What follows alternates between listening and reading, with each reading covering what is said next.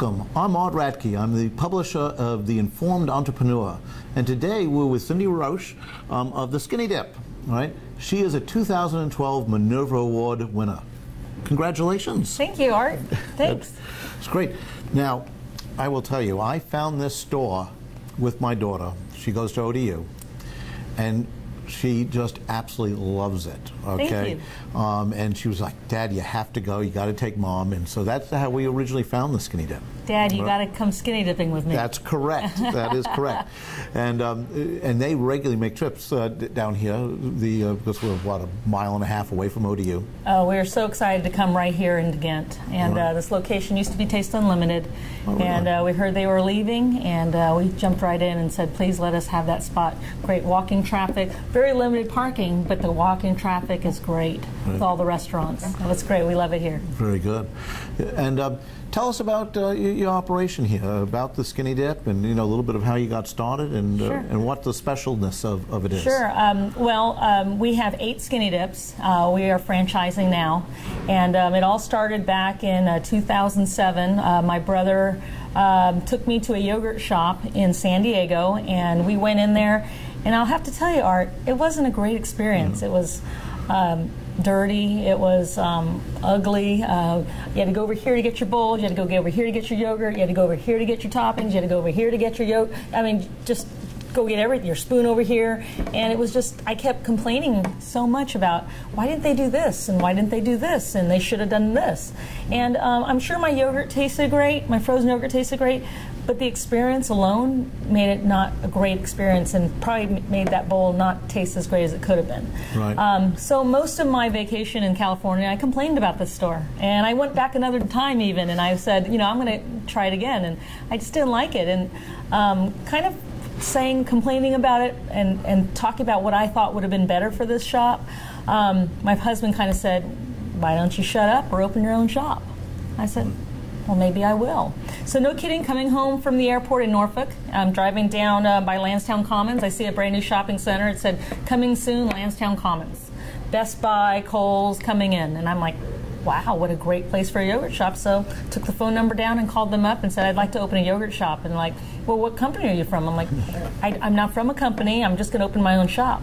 Well, we have Cold Stone and Brewster's and Rita's and all of them wanting to come in here. Who are you? I'm like, I'm just a Hampton Roads um, neighborhood gal, and I would love to open a yogurt shop. And I really think if you give me the chance, I can do it. And um, they gave me a chance, and I opened my first shop right there, May of 2008.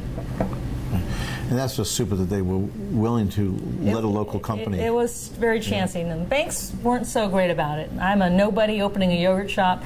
Some of the TCBYs were closing, and um, it wasn't so great going to the banks. I had great, um, great financials, but it was such a business that they hadn't heard of that they were didn't want to take a chance on me.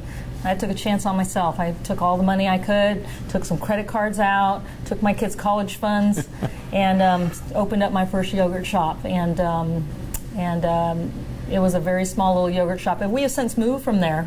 Uh, we we doubled our size moving across from the in the in the same shopping center, but we outgrew our first one very quickly. Um, Hampton Roads really embraced us very nicely. Right, super. And um, uh, you know, give us a little bit about the philosophy of. Um, I mean, you have the best product. I mean, it's not just a, a product, but I mean, you've you've Mm-hmm. Well, we, worked very um, hard at that. We, we do. Um, we have a great frozen yogurt, um, and uh, we play with recipes all day long. Um, we, I remember one day I walked in and I saw um, a mom and a dad and a little brother eating frozen yogurt, and then I saw a little sister have a bowl of just fruit. And I, said, and I walked up and said, "Hey, how come you don't have any frozen yogurt?" She goes, "I can't have dairy," and I'm like, "Oh." And the, and the mom and dad just felt a little bad. They just gave her fruit. I'm like, huh. So we thought a little bit, and we were able to come up with a non-dairy kind of product, soft serve. And uh, we have a vegan soft serve. We have a non-dairy soft serve, which you know also includes some sorbets. But now they come in, and the whole family enjoys something, Right. and that, that made me feel really good. It made me feel really good. But it really is a self-serve format. Um, you grab a bowl, you grab a frozen yogurt, and we sometimes have eight to ten. We have eight, sometimes ten frozen um, frozen yogurts to choose from. You fill the bowl with any of them or all of them. We don't care. We're going to weigh the bowl. Go to the topping area, and we've designed it like an island, so you can actually go down one side, go down another side. You can talk to your mom across this, across from you.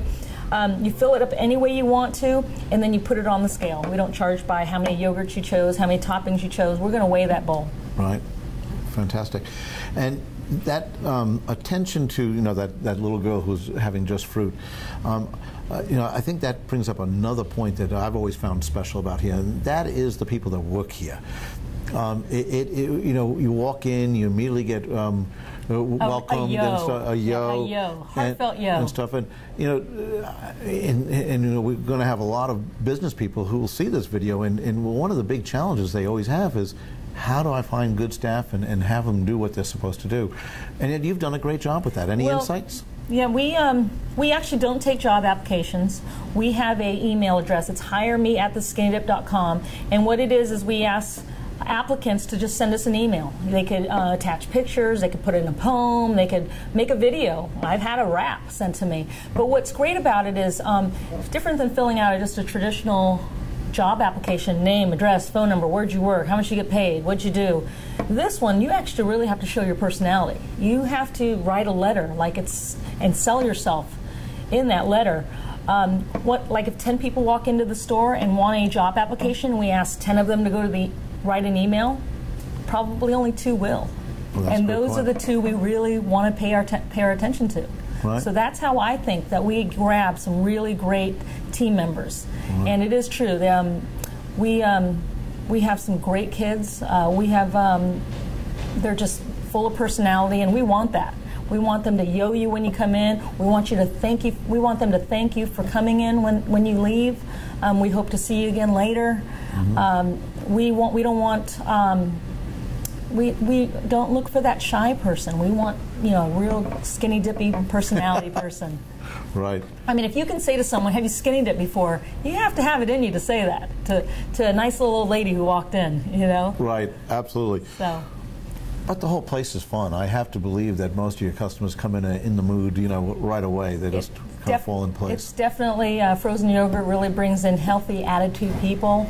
Um, they come in expecting to have a good time. Um, what's there not to like? You got to take a taster cup and try something. You got to put in the bowl what you wanted. You got to top it how you wanted. You got to make it exactly how you wanted. It's a control freak's dream. And uh, the, the last thing is you, do a lot to include your customers in, a lot of sort of thing. If your Facebook page, you, you've got a, a few people on your Facebook page. A Is that- few. Uh, we are we're we're coming on to about 31,000 fans, and they are active fans. They are telling people what they like, what they what they are going to have tomorrow. Um, the best thing they do is um, they'll put on their skinny dip page on their own page. They'll post, "I went skinny dipping today with my daughter." Yeah. And it's great for people in Hampton Roads who know what the skinny dip is, but their friends and family who live out of the area, they'll be like, "What are you doing?" and um, I hear great stories uh, about that. But um, we are always getting new fans, and one reason why I think we have so many fans is we actively speak back with them. We are always responding. Um, hey, it's my mom's birthday, and she loves the cake batter. Will you have it in tomorrow? And we try our best to do that. We try to listen. Excellent. Well, once again, congratulations, and uh, look forward to my next time skinny dipping uh, with my family. Oh, that'd be great. I can't wait. Very good. Thank you. Thank- Thanks.